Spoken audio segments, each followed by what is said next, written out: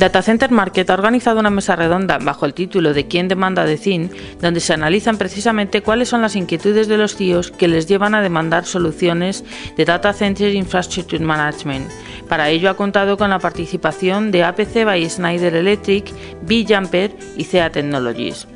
Todos los ponentes han coincidido a la hora de señalar que el especial periodo de demanda que atraviesa DECIN se debe al crecimiento exponencial del mundo TI de tecnologías como cloud, computing, virtualización y big data, que hacen que la cantidad de información que se maneja y los ámbitos desde los que se gestiona sean heterogéneos y hagan que el mundo TI sea ingobernable si no se recurre a una gestión milimetrada y holística. Al punto anterior se ha venido a sumar el hecho de que las empresas, y más concretamente los departamentos asociados al CPD y los centros de datos independientes, estén concienciándose de la importancia de ser eficientes desde el punto de vista energético.